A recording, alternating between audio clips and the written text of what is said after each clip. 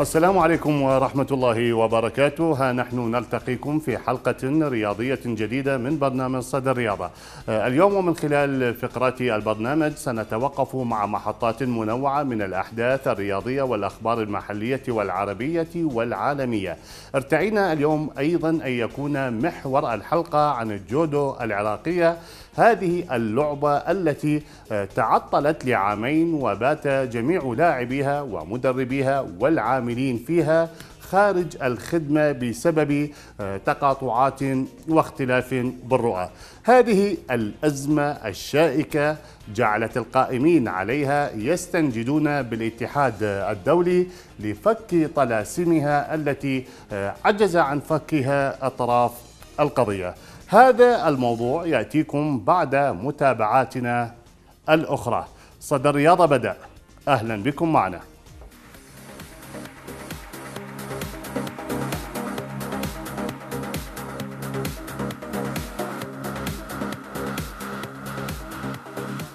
نجدد الترحيب بكم مشاهدينا الكرام والبداية مع المتابعات المحلية والعربية والعالمية. نوجزها لكم قبل الخوض في محور حلقتنا لهذا اليوم ونستهلها بالمباركة القلبية للزملاء الذين منحوا ثقة الهيئة العامة للاتحاد العراقي للصحافة الرياضية من خلال فوزهم في الانتخابات التي ضيفتها مؤخرا نقابة الصحفيين.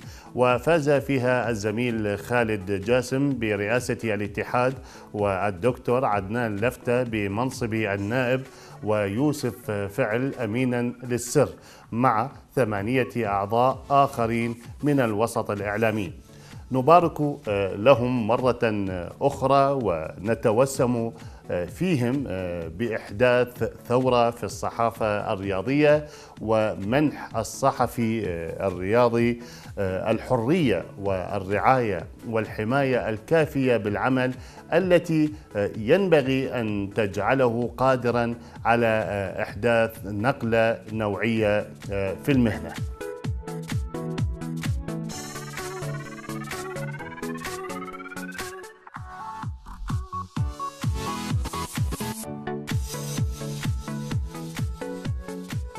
متواصلين معكم مشاهدينا الكرام وإلى العاصمة القطرية الدوحة حيث توج فريق السد بلقب كأس أمير دولة قطر لكرة القدم إثر فوزه على العربي بهدفين مقابل هدف في المباراة التي ضيفها استاد أحمد بن علي المونديالي وهو أحد الملاعب التي أنجزت مؤخرا والخاصة باستضافة نهائيات كأس العالم لعام 2022 لتكون هذه المباراة هي الأولى على أرضية هذا الملعب الذي يعد تحفة معمارية مميزة لا سيما أن الدوحة فازت مؤخرا بحق استضافة دورة الألعاب الآسيوية لعام 2030 على حساب جارتها الرياض التي نالت هي الأخرى استضافة نسخة 2034 من خلال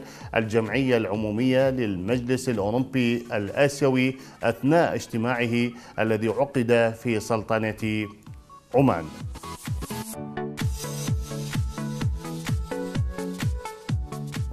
عالميا وضمن حفل توزيع جوائز الاتحاد الدولي لكرة القدم الفيفا للأفضل خلال العام الحالي. نال البولندي روبرت ليفاندوفسكي نجم بايرن ميونخ الألماني جائزة أفضل لاعب في عام 2020 وتفوق المهاجم المتألق على ليونيل ميسي أيقونة برشلونة الإسباني. وكذلك على البرتغالي كريستيانو رونالدو نجم يوفنتوس الإيطالي.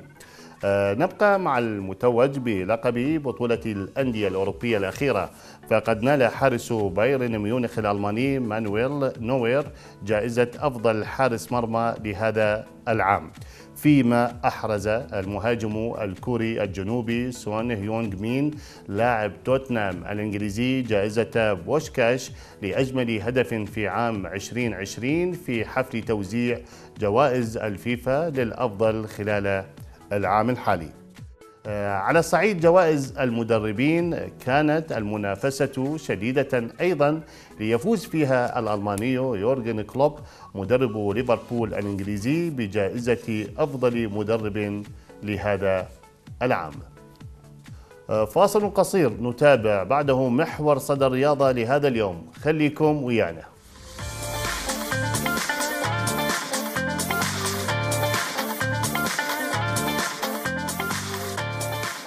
مشاهدينا وصلنا إلى محور آه، حلقتنا لهذا اليوم مع قضية اتحاد الجودو الذي يشكو من مشاكل جمة وإهمال وبؤس وترهل واضح. هو نتاج لتقاطعات آه، واختلاف آه، وجهات النظر لذوي الشأن.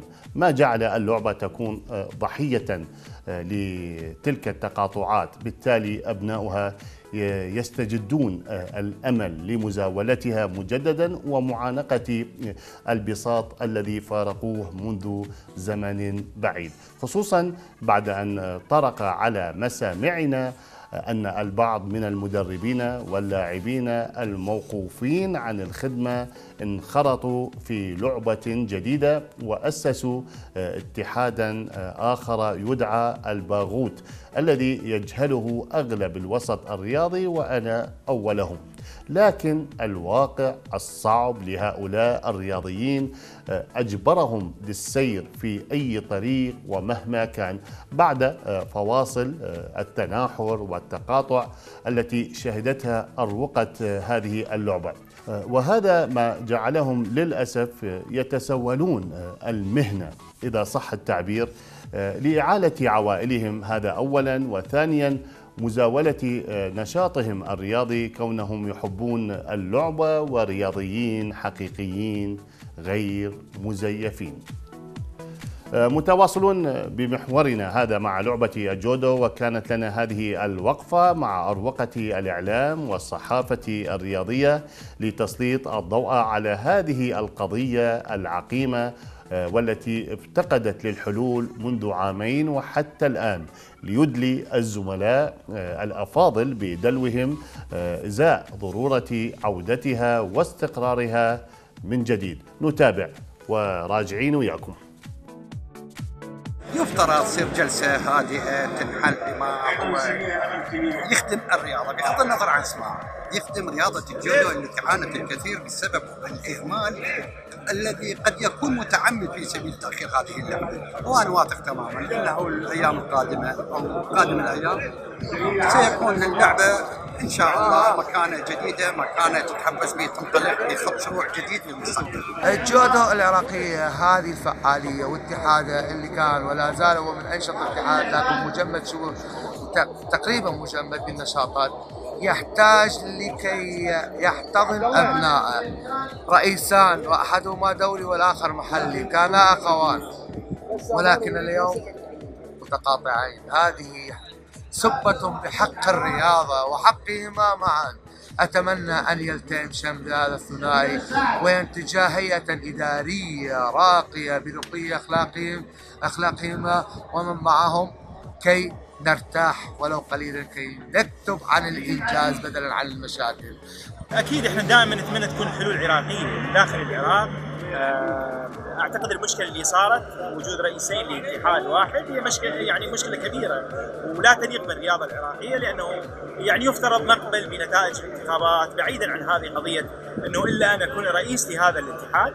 آه، الآن الحل الدولي اجى أتمنى يتوافقون على المناصب على الرئاسة على النائب على بقية الأعضاء لأن الرياضة تضرر يعني اكو ضرر كبير على رياضة الجودو على ممارسيها فنتمنى يعني يتجاوزون هذه المرحلة يعملون بيد واحدة بعيدا عن الأسماء. مو بغض يعني حتى يختارون اسم جديد ممكن لرئاسة الاتحاد. آه، مشاهدينا آه، بعدما تابعنا آراء الزملاء حول إيجاد الحلول لهذه المشكلة التي باتت آه، تهدد واقع اللعبة في العراق. سنتابع الآن تقريرا مفصلا أعده الزملاء في القسم الرياضي يحاكي واقع اللعبة والشارع الرياضي. نتابع ولنا عودة.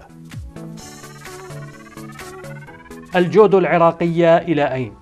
تساؤل مشروع يضعه معظم متابعي ومحبي هذه اللعبة وأهلها المغلوب على أمرهم بعد أن توقفت سفنهم إثر معاندة أشرعتها لأمواج الشواطئ. حتى مزقتها الرياح العاتية وحطمت دواليبها وهم ما زالوا موقوفون ولا يعلمون ما ينتظرهم في قادم الأيام. والجواب الذي طال انتظاره لا زال عند أهل العلم بانتظار بصيص الأمل الذي يقضي بأخذ كل ذي حق حقه.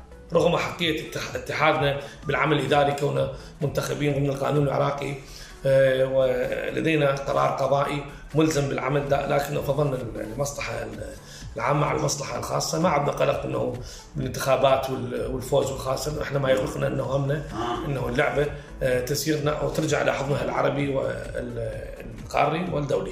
وبعد أن عجزت حلول الداخل وكما في كل مرة لا سيما في الآونة الأخيرة التي شهدت سفر أغلب قادة الرياضة إلى سويسرا وغيرها من الدول التي تمتلك القرارات الحازمة لجأ الجميع إلى حلول الخارج الذي بات ملاذ رياضيين.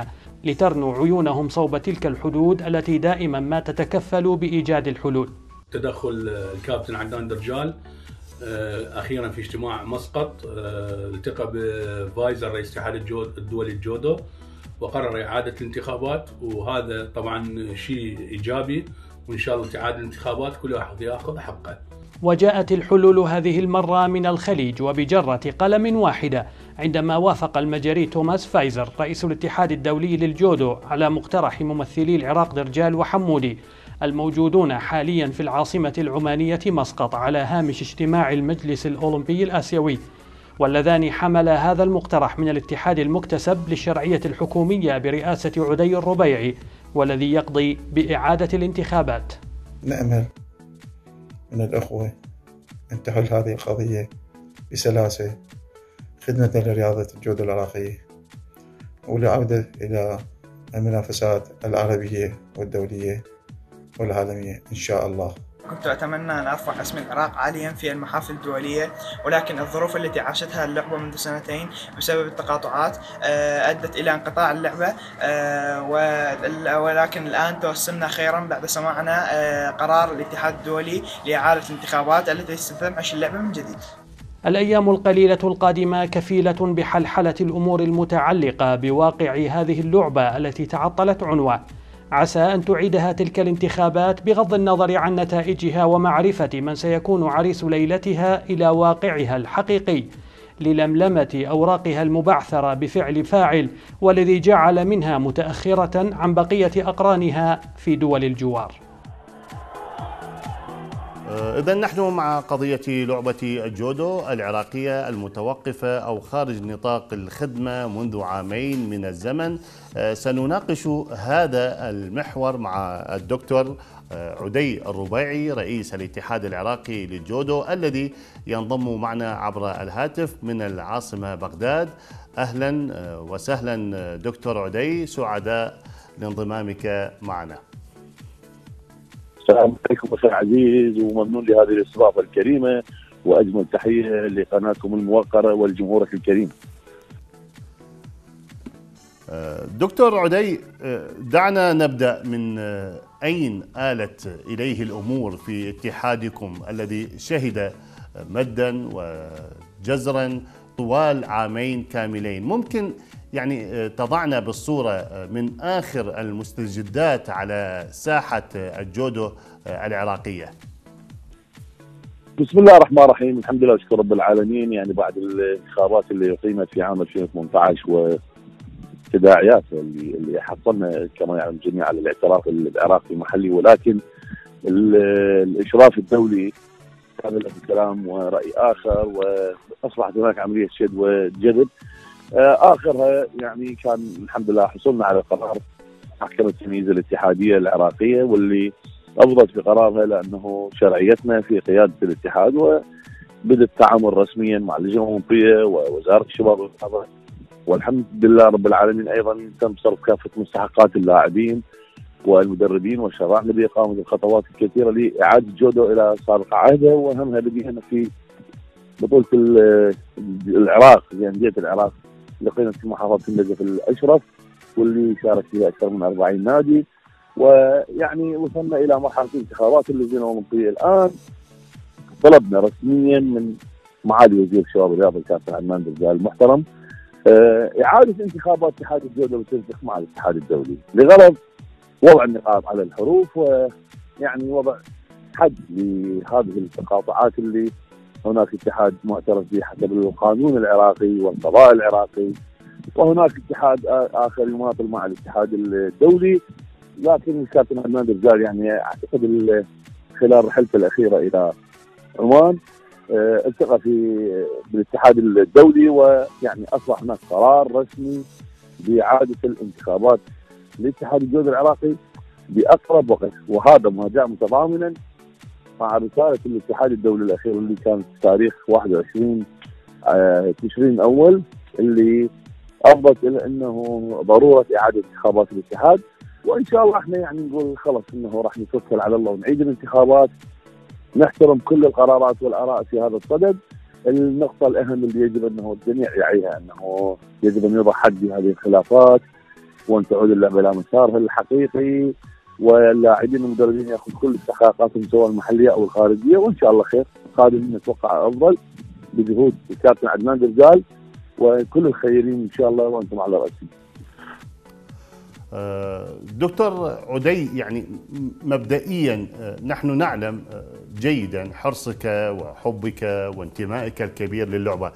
لماذا لا تجلسون على طاولة حوار واحدة أنتم والاتحاد الآخر الذي يعني يترأسه السيد سمير الموسوي وتنهوا هذا الجدل بينكما يعني لأجل عيون اللعبة واللاعبين والمدربين؟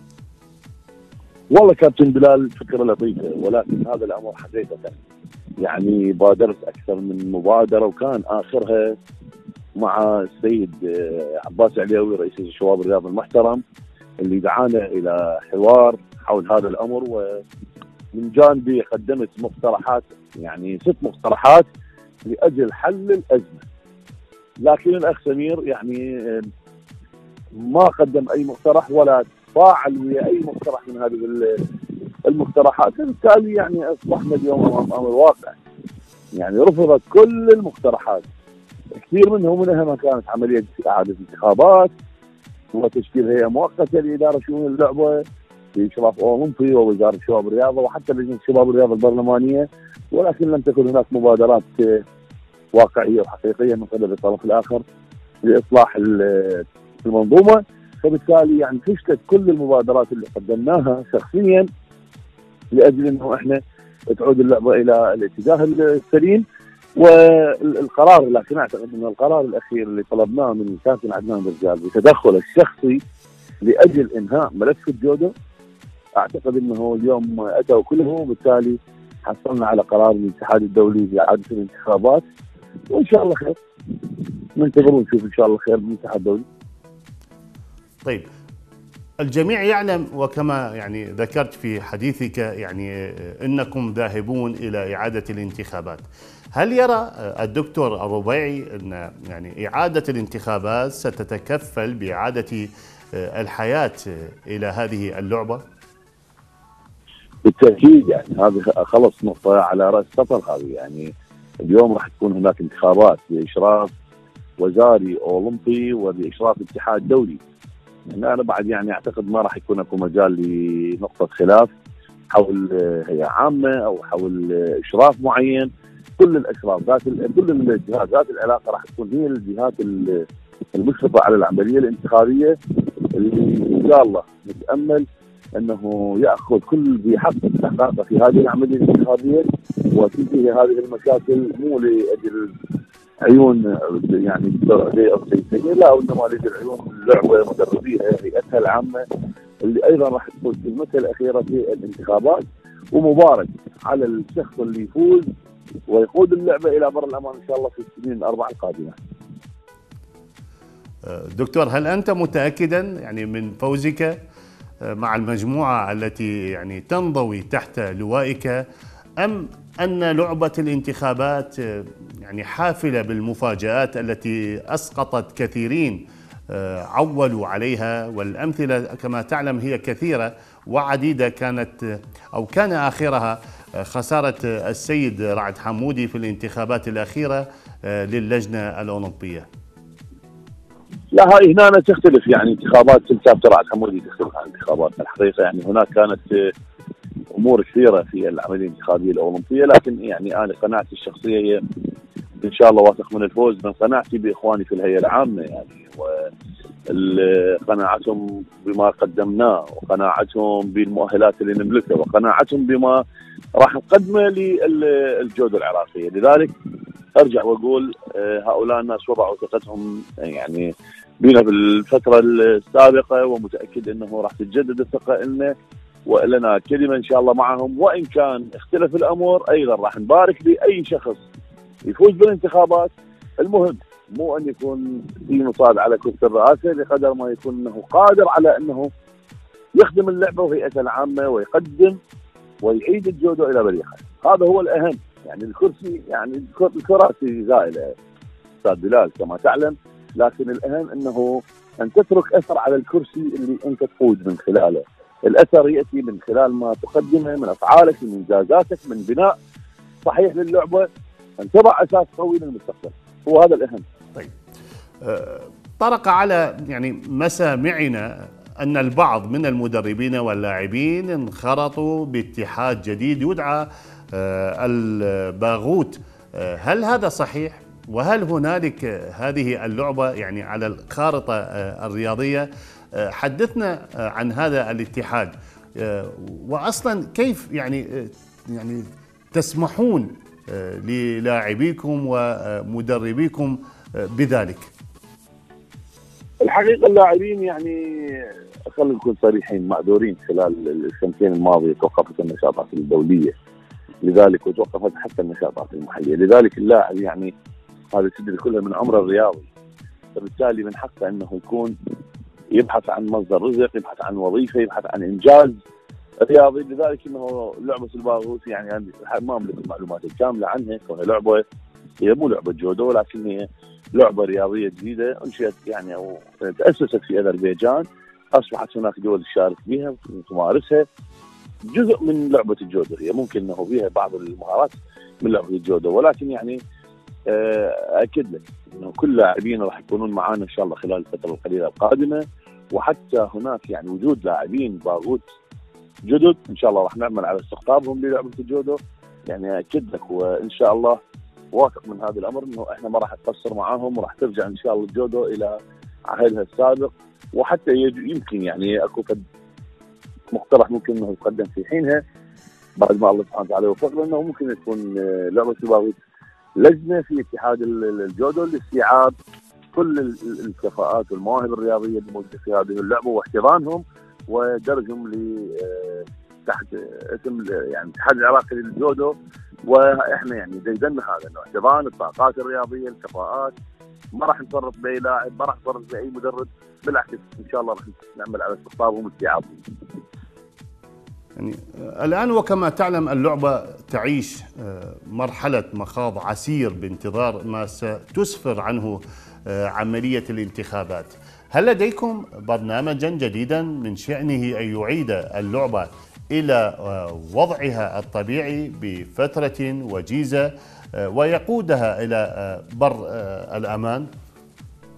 بالتأكيد أملك برنامج انتخابي على مدى ثلاث خطط اللي هي القصيرة والمتوسطة وطويلة الأمد من ضمن ما أخطط إلى أنه يعني يجب أنه نمتلك قاعة رياضية اولا واخرا. يعني يجب أن نخصص قاعة رياضية خاصة للعبة الجودو وتوفر المستلزمات الأساسية من بدلات وتجهيزات اللعبة. التوسع في دعم كل المحافظات اللي من شأنها إنه تقدم وعندنا معلومات كافية عن المحافظات المتميزة في لعبة الجودو. هنا راح نحصل اولا بناء قاعدة جديدة لل للعبه بالارتكاز على ما موجود أصلا عندنا من لاعبين يعني في من منتخبات الشباب والمتقدمين.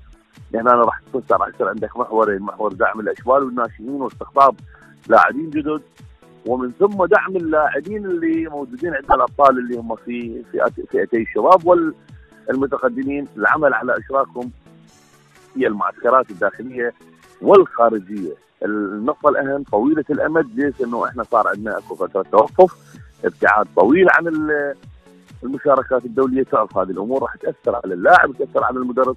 اذا إحنا بحاجة ماسة وكبيرة إلى سرعة العودة وسرعة الانخراط مع المجتمع الدولي الرياضي لأجل آه، إنه اللاعب يعيد إمكاناته وكفاءته. وإن شاء الله كلنا ثقة برياضينا وأبطالنا على إنه يجتازون هذه المرحلة بخير وبسلامة. دكتور تقبل خالص شكري واحترامي وتقديري كلمة أخيرة الله يسلمك. نعاهدكم خلال سنة واحدة من تاريخ استلامنا لاتحاد الجودو إن شاء الله راح تشوفون نشاطات وإبداعات أهل الجودو الحقيقيه تعود لكم بسرعة والتوفيق وشكرا لاستضافتكم الجميع. آه، مشاهدينا كان معنا عبر الهاتف من العاصمة بغداد الدكتور عدي الربيعي رئيس الاتحاد العراقي للجودو فشكرا جزيلا له.